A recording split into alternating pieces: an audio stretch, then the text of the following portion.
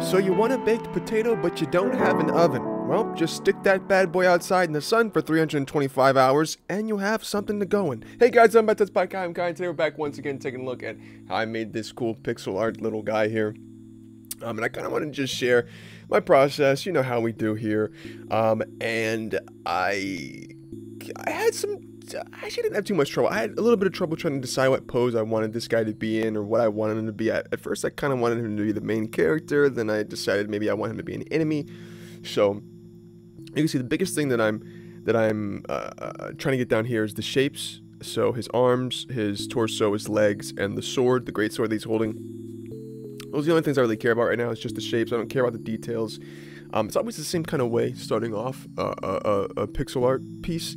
Um, you kind of want to just get down to basic shapes, the ideas, um, the I don't know what the the uh, the character itself, you know, the the the personality of it. So you want to you want to be able to see his arms going back. You want to see the the thing he's wearing kind of draping down in between his legs, and you want to see his legs. And you want to make sure you know where everything is before you start detailing anything out. And then after that, I always go ahead and I do um, a little bit more shading and the thing is with shading, you don't want to do too much. I've said this before in the past. You don't want to do too much shading because it starts looking pillowy.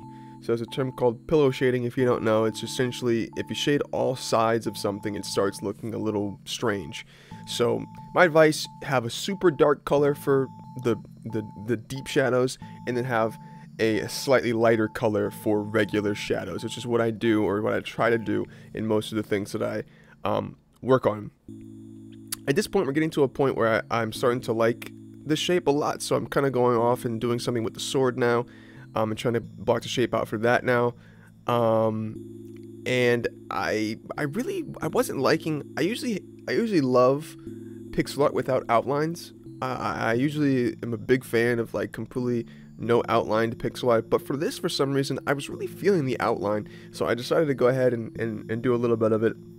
And as you can see, I kind of put the outline inside of the pixel art as well, which isn't done a lot of the times, but I think it looked really good for separating things that were on top of each other. So for instance, his arm, um, and then I think there's a little piece of the cloth that I also kind of um, put a little black line next to it. I just wanted to define a super deep wrinkle, or like I said, his arm going across his body there.